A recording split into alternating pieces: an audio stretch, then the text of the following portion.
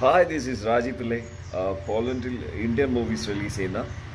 United Films പോളണ്ടിന് എന്റെ എല്ലാവിധ ആശംസകളും ഗോഡ് ബ്ലെസ്